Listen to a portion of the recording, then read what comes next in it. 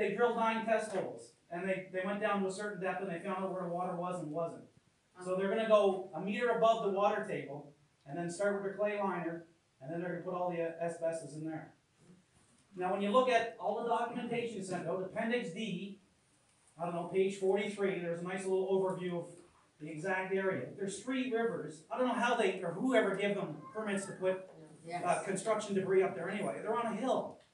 You know, the little adage, what rolls downhill, Right. but there's three brooks up there that run within three hundred meters, five hundred meters, and a thousand to the west, or to the east. Well, one of them brooks comes right down behind my property. Now, it's not a big brook, by the time it gets to my place, it's just a marsh, but that's where my well is and everything else. Yeah. So for me, being the age I'm at, you know, I may never ever see a- asbestos there. But in ten or fifteen or twenty years from now, or thirty years from now, who's gonna be there? Yeah. And Mr. Ross, as much money as he wants to make, is not gonna be the steward of our environment. Mm-hmm. He's just gonna let it go to, to his pocket, and then he's gonna be gone. Mm-hmm. And then it'll be the province will be responsible for cleaning all this up. You know, and the biggest concern is transporting it there. Once it's in the ground, it should stay there. But I don't know how you can put this much hazardous material on a hill in a valley. Even if it's above the water, it's gonna run down. If they have a fire and they go to suppress it, it's gonna run down off of this hill.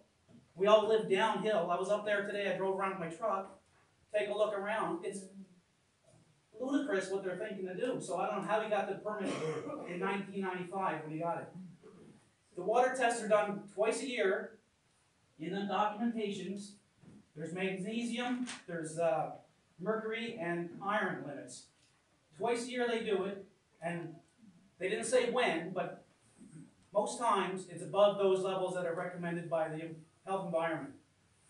So, how long has this been going on behind our properties or in our water lines from this construction debris? There is material in construction debris that you shouldn't be playing with.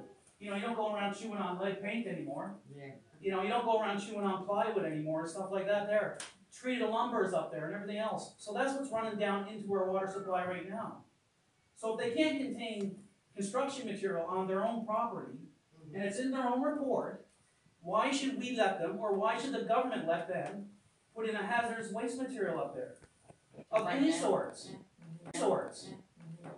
So I have these questions for Larry, or, Okay. I heard your name a couple times, I can leave them here, I can email them to somebody, I got on the Facebook page there a couple days ago.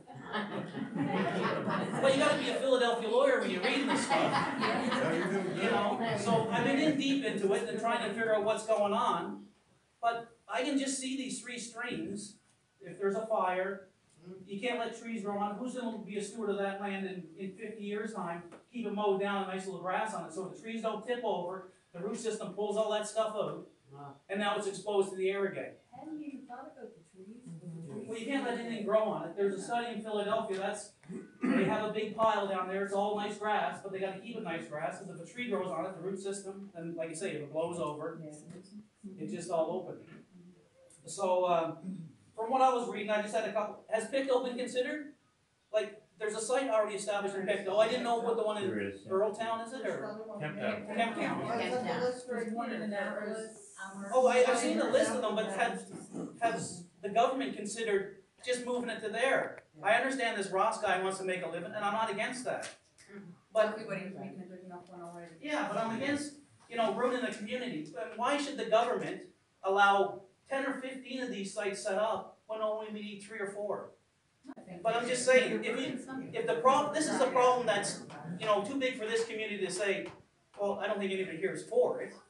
But I think the government should step in and say, yes, we're gonna have to look after this in a proper manner, because if we don't, you know, our community, our little middle cycle, or middle cycle, here we go, that's where I used to live. Middle Stewiacke is gonna be a wasteland, nobody's gonna wanna move in here. And you know, I just bought eight months ago, or four months ago, I'm thinking if I knew they were gonna put, you know, asbestos behind my house, I don't care if it is two thousand meters as the crow flies, that's still too close when I got water running down from that hill down onto my property. Water You know? all the times a week. Water all It, it the does, and then you got that beautiful river down here, and there's fish in that river, and I'm uh-huh. sure, you know, it may not kill us, we may not go swimming in it anymore, but it's gonna do a terrible damage to the rivers once it gets in there.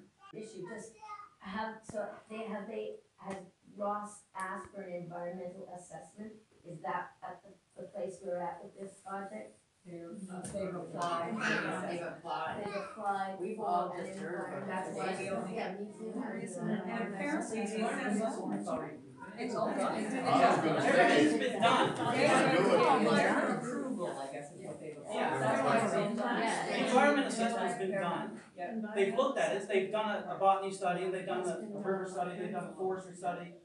They did a topographic study, they did all the studies they're gonna do in three days, I think you mentioned But earlier. but who did that? That was, that was the John No. Ross? No, that wasn't John Ross, it was, uh, Geo Globe or Geo, Englobe, Englobe, something like Englobe, yes. Yeah. They did that, yes. Excuse me, this is the mayor of, uh, Oh. Chester Yeah, County. yeah. I I was gonna She meet her has today. a little, Yeah. that's okay, She's you're got some information. Oh, okay. Yeah, so, That, uh, a class one environmental assessment report on Highway two eighty-nine Little Stewiacke, and it was just finished in May of twenty nineteen, uh, for Colchester Containers Limited, which is John Ross's, another company name. It was done by Englobe, E N G L O B E. Um, and it's soils, materials, and environment. This is the final version of the report. It is online. I read it. It is online. so, Yeah. so Mayor, um, so if they've already done it, how come none of us ever heard about it? Because normally you've got thirty days with a class one assessment for the public to be consulted. Uh, What did May, tell us? May sixteenth, the ad came out in the paper. Okay, And, um, okay, an and ad came out. didn't even saw it, did anybody else? No, no, no, no. There you go, exactly, cut down That the was paper. a notice, um, There was a notice in, in the, uh, paper, registration of undertaking for environmental assessment, environmental act.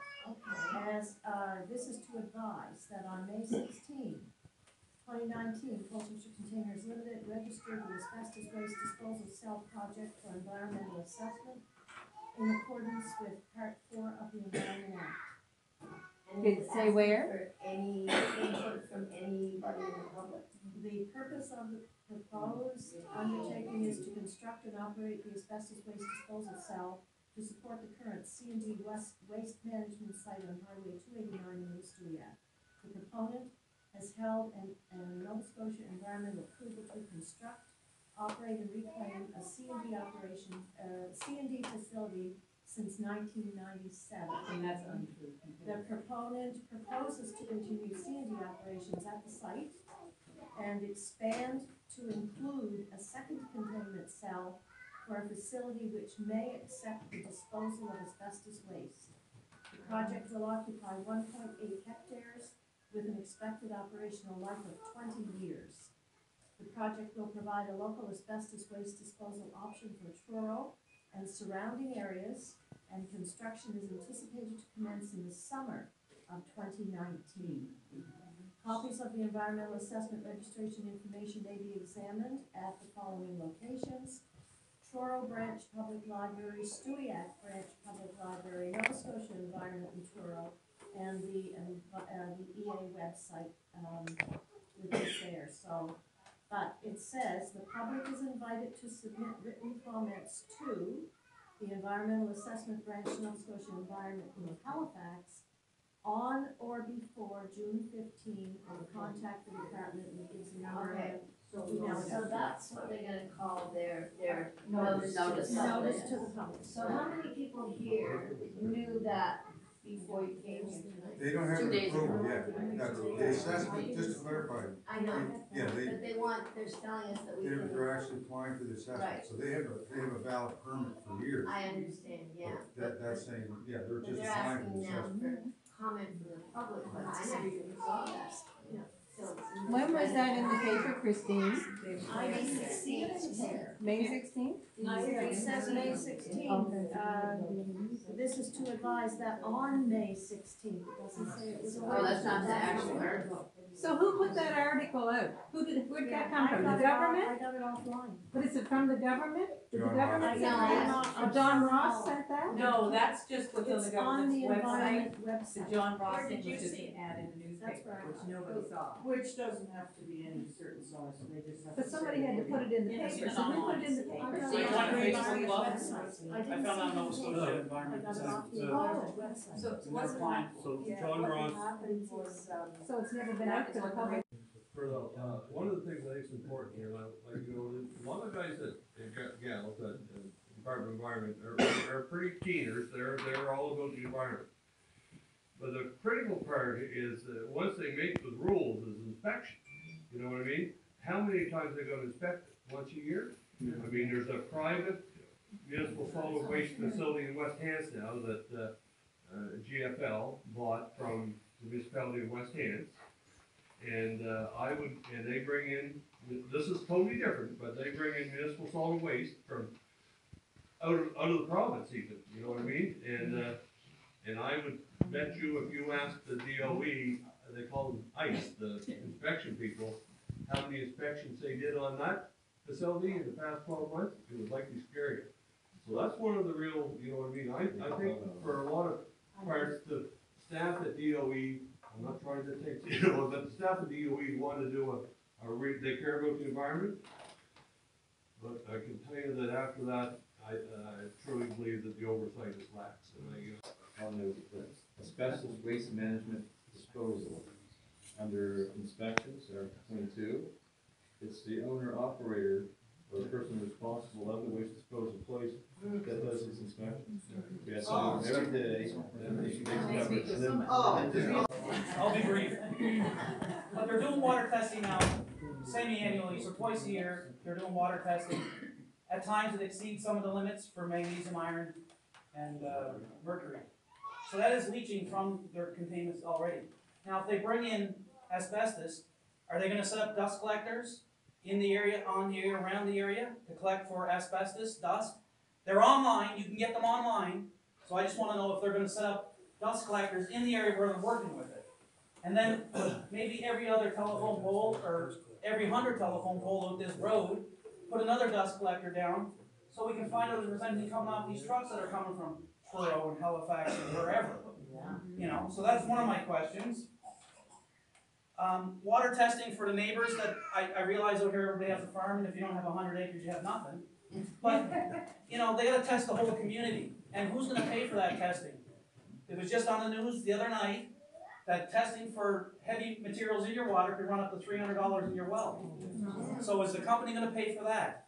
Or is it, I'm gonna have to pay for that every year to test my well so I can sleep safely at night going in the dark?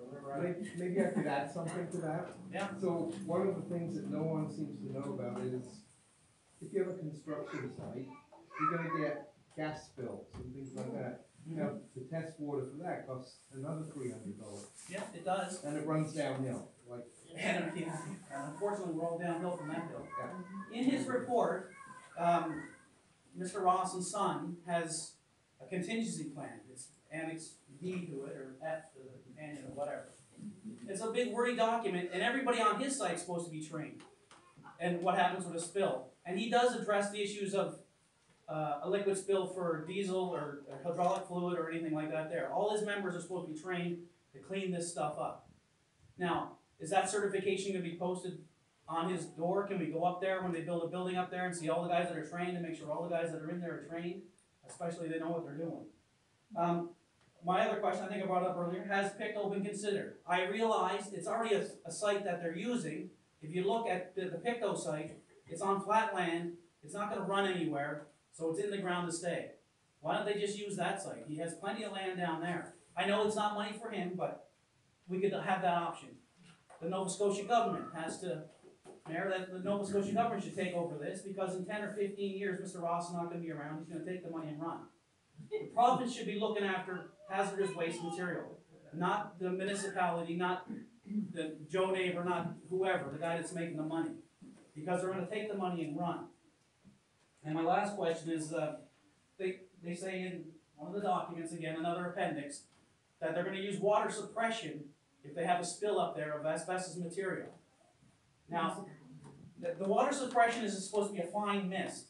But if you got some young guy that just jumped off that bobcat, or an old guy like me that jumped off the bobcat and I grab that hose, I go to hose this down and it's hundred PSI, not five PSI, it's gonna go right off the hill, it's gonna wash off. So, water suppression for me doesn't work when you're on the top of the hill. If you live down where I live and I live up on a hill, bury whatever you want down the bottom.